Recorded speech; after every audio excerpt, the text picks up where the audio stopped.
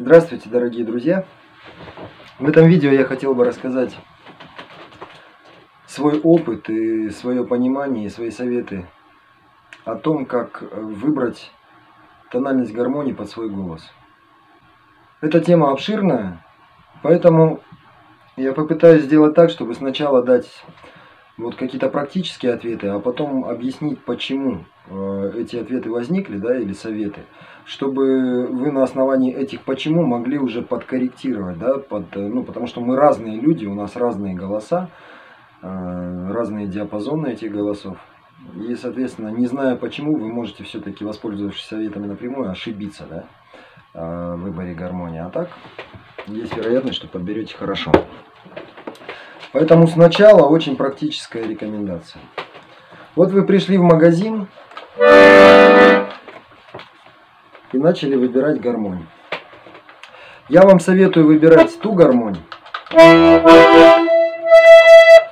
на которой вот эта кнопка Си является пределом вашего голоса, верхним пределом вашего голоса. Как это делать? Вы берете любую гармонь, вот выбрали, так, выбираю вот эту гармонь. Э, и идете. Поете вместе с нотами. Что такое звукоряд, да, и как э, выглядит звукоряд гармонии. Вот мы рассказывали в уроках нашей школы, там народное сольфеджио, первое занятие, да. Можете его открыть. Если кто-то не знает, что такое звукоряд, как ноты по порядку расположены. Там, да? Но будем считать, что вот идем от ноты до. И как расположены ноты на гармонии, тоже мы в наших уроках рассказывали. Поэтому просто берете и поете.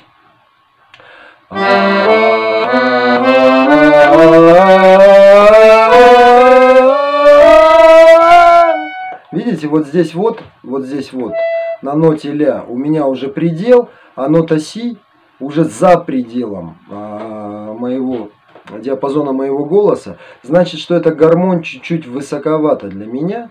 Вот эта гармония, она в тональности соль диез, значит, мне, наверное, нужно, соль, а, мне нужно фа диез. Ну, фа, наверное, да? Вот. А, но, в принципе, пойдет. То есть, вот это окно, если вот здесь на этой кнопке заканчивается диапазон вашего голоса, на кнопке ля, то это похуже, чем на кнопке C, но тем не менее пойдет. Если вы берете, вот и, вот и весь совет. Давайте посмотрим, что будет, если вы взяли гармонь, которая не вполне в тональности вашего голоса. Ну, допустим, гармонь э, в тональности до. У вас произойдет следующее. Вы начнете петь под гармонию.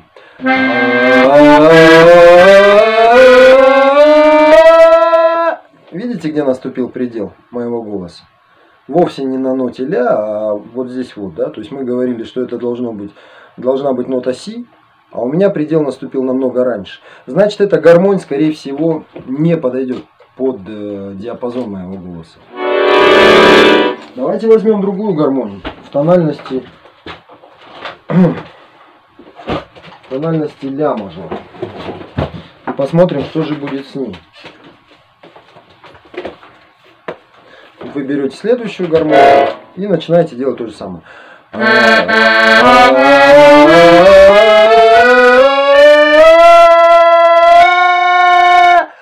Предел наступил на ноте соль, да? На ноте ля уже через чур. Это значит, что ноту си я не вытяну. А, значит, эта гармонь высоковата для меня. То есть, вот если бы я выбирал, зашел в магазин, где продаются продается весь спектр э, гармонии всего спектра тональности, да, 12 тональностей, то я бы, наверное, выбрал фа диез мажор. А потом бы подумал и, может быть, выбрал бы и соль. Вот, то есть, э, вот практически вот так вот это делается, все просто. Теперь, теперь, почему? А, и это будет такой обширный вопрос. Если вам больше не нужно информации, то все, закрывайте видео, идите в магазин, покупайте гармонию. И скорее всего, что вы почти не ошибетесь. Но там чуть-чуть мы внесем корректировочки по ходу видео. Почему так? Почему именно эта кнопка, почему именно эта нота? Потому что, когда вы поете песни, то довольно редко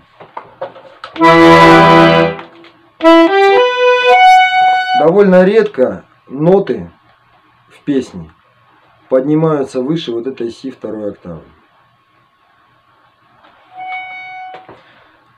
довольно часто они бывают вот здесь. Если вы ля вытягиваете легко, я ее вытягиваю тяжело, гармонь высоковата для меня. Да? И если вы си вытягиваете более или менее, то значит нормально. Давайте теперь поговорим, что такое тональность вашего голоса и почему э, так сложно получить ответ, как гармонь какой тональности выбрать. Потому что люди разные. Когда мы играем песню, у этой песни есть диапазон расстояние от самой нижней ноты в песне, вот на всей протяженности песни играет, и какая-то нота в ней самая нижняя. И вот вся песня играет, и какая-то нота в ней самая верхняя. Да? Вот, э, допустим, это диапазон песни. Вот такой вот высоты. Вот самая нижняя нота, вот самая верхняя. И есть диапазон вашего голоса. Вы можете спеть тоже от... У вас тоже есть диапазон свой собственный. От самой нижней ноты и где-то уже потом вы начинаете кукарекать вместо того, чтобы издавать звук. Да? То есть вот диапазон вашего голоса. Смотрите, если э, диапазон песни не очень э, большой, обычно это у народных песен, их в принципе можно вообще на четырех нотах спеть. То есть вот песни там плясовые, ну типа там э, тяжевы блины мои блины там, да, и, ну что угодно. Вы можете спеть на гармониях разных тональностей. И тональности ля, и тональности соль, и тональности фа мажор. Там, да. А если песня эстрадная, то может оказаться, что вам надо очень четко подгадать, потому что у нее разлет повыше, и какая-то часть этой песни может выехать за диапазон, доступный вашему голосу.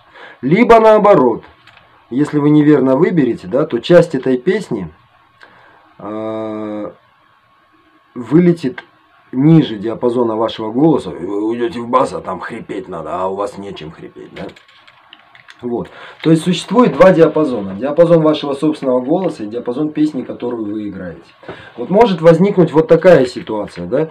То есть, э, если песня более или менее приемлемая, то может оказаться, когда неправильно, не под ваш голос выбрана тональность гармонии, да, то может оказаться, что и песня-то, в общем-то, у нее диапазончик даже вот такой, да, но он выезжает вот сюда.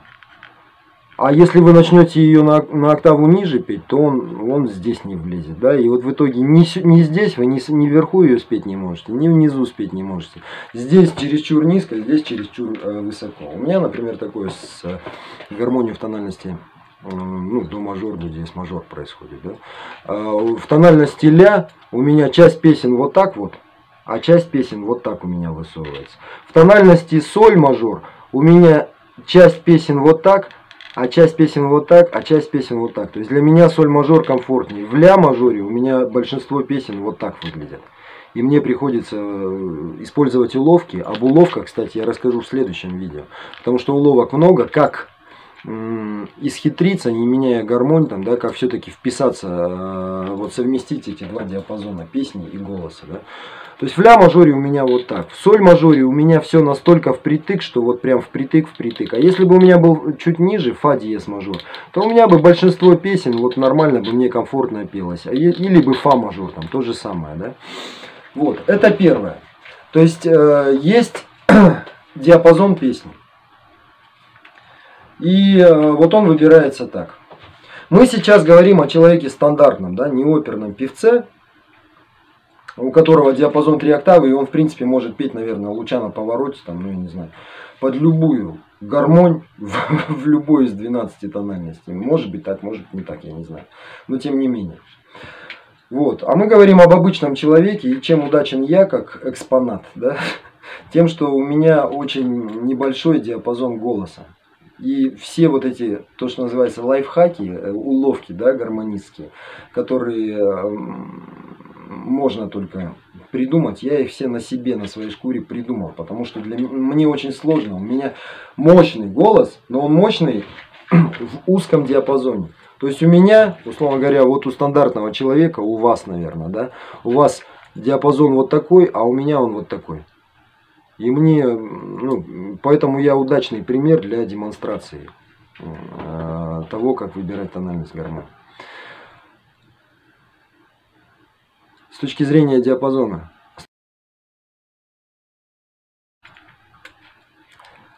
Идем дальше. Песни могут быть вот такие, обычно это эстрадные песни, да, могут быть вот такие, но будьте морально готовы к тому, что какую бы гармонию вы не выбрали, вы, вам не будет одинаково комфортно петь под нее все песни. Потому что может оказаться абсолютно другое соотношение. может оказаться, что у вас диапазон голоса вот такой, а диапазон песни вот такой. И что бы вы ни делали, вы просто даже в самой комфортной своей позиции эту песню э, не вытянете. Не вытянете качественно, без уловок. С уловками вытяните, но без уловок, вот качественно, как она в оригинале поется. Хоть вы сюда сдвиньте диапазон вашего голоса, хоть сюда, он здесь вниз будет уходить, да, вы не, не втиснетесь. Здесь вверх будет уходить, или еще вот так вот, и вы не втиснетесь. Таких песен а, есть какое-то количество, слава богу, что их не так много. Ну там, ну не знаю, эти вот улюбы там, да, стучали колеса, летели вагоны, гармошечка пела вперед. Я, я, я думала, там, вам, ну, помните, да, эту песню? Я думал о многом, я думал о главном, смоля папиросской во мгле.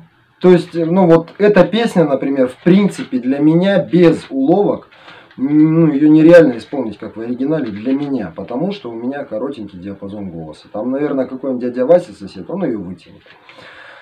Вот.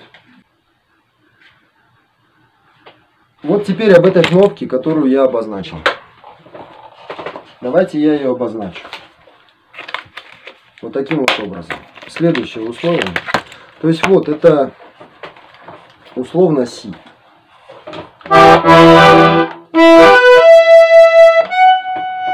Она. Это кнопочка. Да? И теперь о том, что может быть для вас эта кнопочка не предел. При этом, когда вы выбираете гармонию вот по ноте си, да, чтобы это был верхний предел вашего голоса, вы должны понимать, что вот здесь вот, на низу, предел вниз вашего голоса, он должен быть не на ноте до, а на ноте фа. То есть вот чтобы вам вот эту, при этом вот эту вот нотку было комфортно петь тоже внизу. Давайте посмотрим, что получается. Потому что э, ми, да, ноту ми, вы можете э, там, ну, чуть-чуть, она не так часто встречается в песнях, да, вот в, в качестве мелодии там. Или вы ее можете заменить там, опять-таки, пользуясь уловкой, да, многоголосия, вы можете заменить ее другой нотой. Но вот желательно, чтобы вот эта нота была комфортной. А, и возможно, возможно, да, и давайте, вот для человека с узким диапазоном голоса, как минимум вот эта нота,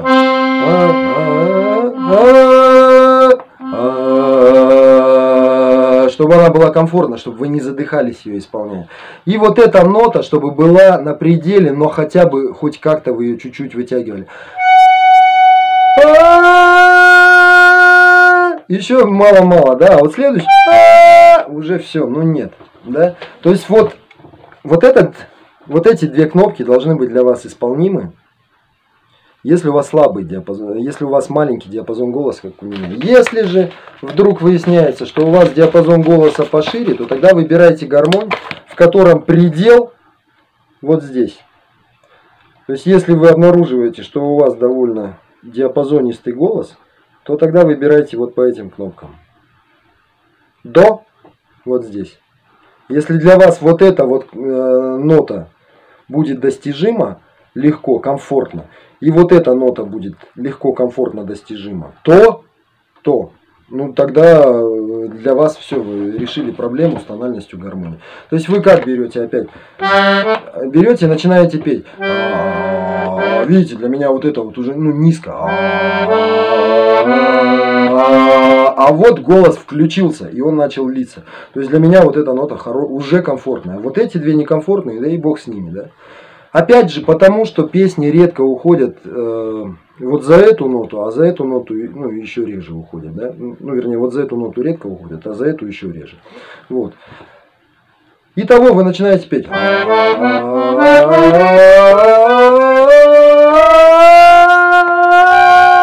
И если вам одинаково легко и вот эту, и вот эту ноту петь, значит гармонь ваша по тональности. Вообще берите, не задумывайтесь. Значит, это, во-первых, значит, что у вас широкий диапазон голоса. А во-вторых, что вы нашли гармонь, которая подходит под ваш диапазон голоса. Для большинства, но не для всех песен. Итого, хотя бы от фа до си а если слабый голос, а если у вас э, большой диапазон голоса, то от ми до до. И тогда вы сможете петь большинство песен на вашей гармонии. Это значит практическая часть. Давайте теоретическую часть, вдруг вам будет интересно тоже. Как, если вы не в магазине, да, как понять теперь, ну, допустим, вы заказываете по почте, и вам по почте, вы же не сможете там по почте играть на гармонии, да, то есть вам надо продавцу сказать, что изготовь мне гармонь, пожалуйста, вот в этой тональности. Или вы видите, там, да, продается там в объявлениях в интернете, что гармонь вот такой-то тональности. И вам надо, не трогая, не держа эту гармонь в руках, э, понять, покупать эту гармонь или нет. Для этого нам понадобится тюнер. Что такое тюнер? Это такая программка, которая устанавливается в смартфон. Я ее показать не могу, потому что я это видео пишу на смартфон. Тюнер это такая программка, приложение. А, она устанавливается на смартфон, и когда вы жмете кнопку, она вам показывает, какая нота звучит. Вы берете этот тюнер, берете любую гармонь, которая есть у вас под рукой. Если гармонии нет под рукой, то вы берете, то вы берете любой музыкальный инструмент, который у вас есть под рукой, и э, делаете то же самое. Вы начинаете с какой-то ноты, голос настраиваете под низ этой ноты. Допустим, вот гармонь до мажор, да, она вообще никак не моя, но мне без разницы на какой гармонии понимать. Плюс-минус полтона, сразу скажу. Красненьким так тын-тын-тын мигает, да, плюс-минус полтона. Потому что гармонь это диатонический инструмент по-крупному, хромка, да, несмотря на то, что она хромка называется. Вы делаете вот так. Окей, Google, что такое диатонический инструмент? Окей, Google, что такое хроматический инструмент? Поэтому, если вы будете этот эксперимент вести на гармонии, вы плюс-минус полтона э, с точностью до, полу, до полутона, да, а не, не прямо тютелька в тютельку подгадаете. Но это не страшно, не критично. Да? Берете гармонь. Ну, предположим, что у вас есть гармонь, если нет, то другой инструмент. С любой ноты. А, поймали эту ноту на низу, вот здесь в животе, в груди. И повели пение.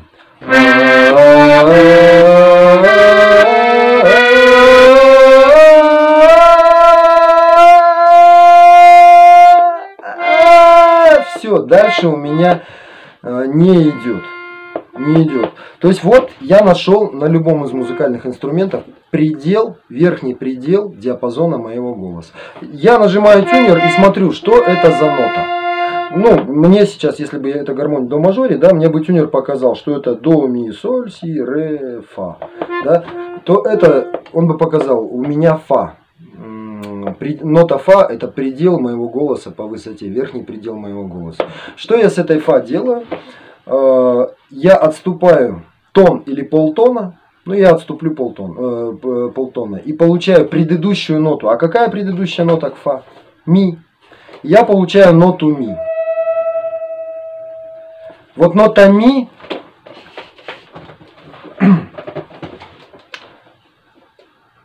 это уже готовый продукт вашего эксперимента. Вы э, звоните продавцу и говорите, мне нужна гармонь в тональности ми минор. Продавец, если он обычный гармонист, он вас может не понять, потому что у гармонистов принято называть мажорную часть тональности. Да? И здесь мы отвлекаемся. То есть, когда мы говорим, что гармонь в тональности до мажор, она автоматически в двух тональностях. И в мажорной, и в минорной. Вот, поэтому, э, когда вы говорите, что тональность до мажор, то это означает автоматически, что она же ля минор. Если вы говорите, что гармонь в тональности соль мажор, это означает, что она же автоматически ми минор. Да? Если вы говорите, что гармонь ре мажор, то автоматически это си минор и так далее. То есть э, не может быть, что гармонь до мажор, а у нее минорная тональность. Не ля минор, а какая-нибудь другая. То есть это неизбежно. Вы можете называть хоть мажорную тональность, хоть минорную, от нее автоматически однозначно высчитывается зеркальная ей мажорная или минорная тональность. Поэтому сказать, что у вас гармонь в тональности до мажор, это то же самое, что сказать, что у вас гармонь в тональности ля минор. Для человека, разбирающегося там, ну, мало-мало, да, э, в музыке. Ну, вернее, не в музыке даже, а в сольфеджио, да, музыка тут ни при чем. Вот, я нашел ноту ми, это означает, что мне нужна гармонь в тональности примерно плюс-минус ми минор. Это означает, что мне нужна гармонь в тональности соль мажор. Как это понять? Опять грубо, с плюс-минус полтона, да, потому что... Э, самое простое понять вот так. Если у вас вот здесь вот вы нашли вот эту кнопку предел вашего голоса, нашли предыдущую ноту, это ми, и вот от этой предыдущей ноты вы нажимаете вот эту кнопку и получите мажорную тональность вашей гармонии. То есть вот это, вот эта кнопка минор, здесь у меня будет, смотрите, до, ре, ми, фа, соль, ля, си, до, ре, ми. Вот она, ми, минор, ну, это у меня получилось. У вас она могла остановиться предел вашего голоса где-то здесь, неважно. То есть вот вы дошли до предела, который, выше которого уже не можете. Взяли предыдущую ноту, это минорная тональность. Взяли ноту, следующую по вот этой, ну, по линейке, да, следующую рядом с ней, это мажорная тональность. И в моем случае это соль мажор. Вы могли остановиться вот на этой ноте, да у этой ноты предыдущая нота, там, ну или могли остановиться там вот на этой ноте. У нее предыдущая нота, э, это, ну, соответственно, вот она, да. Вот предыдущая нота. Вы ее нажали и поняли минорную тональность. Нажали вот эту кнопочку и поняли свою мажорную тональность. То есть в вашем бы случае это было до, ми, соль, си, минор и ре, мажор. Вот и все. То есть э, вот таким образом вы понимаете комфортную для вас тональность. Я вроде бы, ну, понятно рассказал. Я понимаю, что информация это может оказаться, если вы не знаете, что такое гамма, там, да, что такое звукоряд, э, там, как на гармонии, какая кнопка предыдущая, какая следующая. Ну, для этого просто возьмите вот ну, первое занятие или первое, второе занятие народной сольфеджио нашей школы, и все, и вам там станет понятно и, и ясно. А лучше четыре, потому что там уже мы это... Ну, а дальше еще напишем. Вот.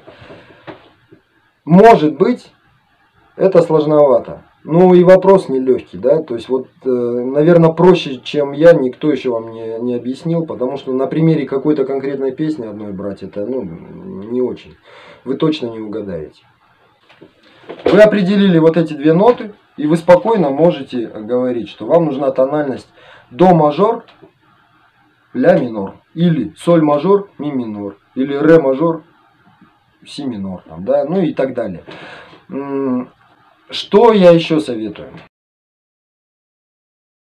Как я и сказал, э, таким методом вы сможете, э, вы сможете определить тональность плюс-минус полтона.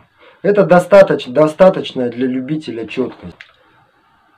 Вот, пожалуй, и все, друзья. То есть, вот э, укрупненно это так. И мне кажется, этого достаточно для того, чтобы вы смогли выбрать себе тональность гармонии. Помните, что выбрав таким образом или любым другим, вам э, в любом случае не получится э, сыграть на гармонии, которую вы выбрали, все песни, которые вам только придут в голову. Какие-то песни выбьются из комфортного для вас диапазона, и вам придется использовать уловки. Об этих уловках я расскажу в следующем видео. Но по-крупному вот так. Пожалуйста, прокомментируйте, было вам полезно или нет, потому что, на мой взгляд, вот я сколько не смотрел, это, по-моему, самое лучшее объяснение того, как выбрать э, тональность для своей гармонии. Почему-то это ну, вот, остается для гармонистов-любителей таким сложным вопросом, и для новичков, и даже для продолжающих. И, и